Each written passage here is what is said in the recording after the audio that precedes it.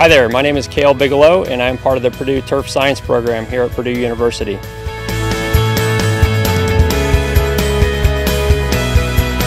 Here we are at the Turfgrass Research Facility at Purdue University and one of the things that is really important to talk about is talk about mowing heights and how mowing heights affect some of the pests that you might see in your lawn.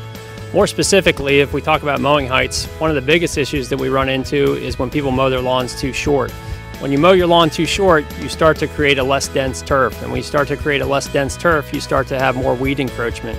Some of the common weeds that you'd see when things start to get really, uh, really thin in your turf are things like crabgrass and things like some of our broadleaf weeds. Another issue you might see in, in things like Kentucky bluegrass lawns are things like creeping bentgrass.